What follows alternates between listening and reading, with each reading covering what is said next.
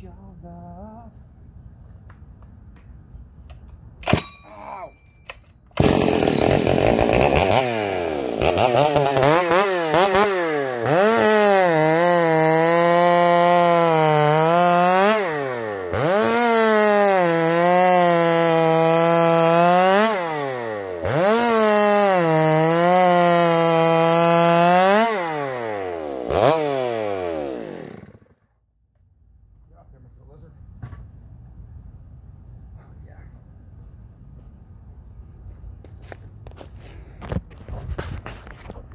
Okay, I revamped my 084.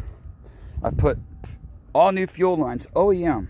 Fuel line, fuel pickup, downstairs, upstairs, brand new impulse line, and a new velocity stack that my buddy Chainsaw Jim, I believe he lives in Oregon, made me, which is really nice.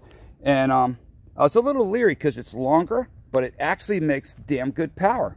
Way to go, Jim. I think it picked up power over the shorter velocity stack. Plus, I like it because it's full circle. That's the way to have a velocity stack because it pulls air from everywhere. And anyway, I painted this. It looks pretty nice. This baby's running good now, man. I think the fuel lines were part of the problem.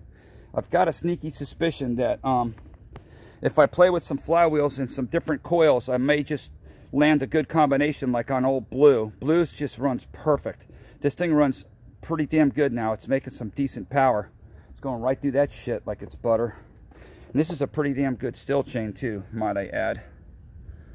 Square filed and stoned. Stoned. Right on. Thanks for watching.